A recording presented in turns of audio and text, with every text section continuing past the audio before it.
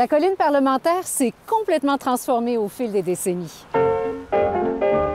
On le comprend très vite en comparant le secteur aujourd'hui à une vue aérienne plus ancienne, captée par l'équipe d'un journal américain durant l'été 1935. Conservée à la Wayne State University, cette image appartient aux archives du Detroit News et elle est totalement captivante. Premier détail intéressant, la quantité incroyable de maisons rasées autour du Parlement. À droite, on peut voir les deux rues complètes qui ont fait place au boulevard René-Lévesque et à ses gratte-ciels. Derrière le Parlement et l'édifice André Laurando, alors en pleine construction, vous voyez ces autres pâtés de maisons disparues? C'est là que se trouve le parc de la francophonie aujourd'hui. On y trouvait une belle caserne de pompiers, la numéro 9, sur la rue Saint-Amable, qui est devenue la rue Jacques-Parizeau.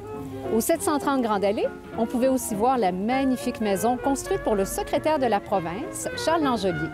Comme le reste, elle a été rasée à la fin des années 60.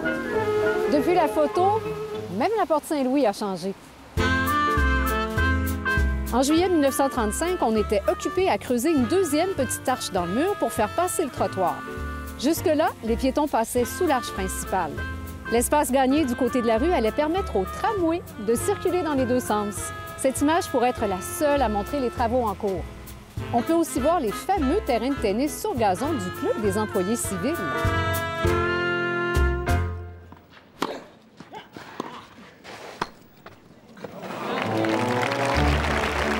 Entre 1876 et la fin des années 60, on a joué au tennis de façon presque continue devant le Parlement. Le tournoi de la Coupe Davis y a même été présenté à deux reprises au début des années 60. On jouait donc au tennis là-bas, le long des fortifications, et juste à côté, on trouvait les serres du Parlement. On y cultivait toutes les fleurs servant à le décorer et on y a même fait pousser des palmiers. Elles ont été démolies à la fin des années 60, juste avant les terrains de tennis, pour faire place à un stationnement.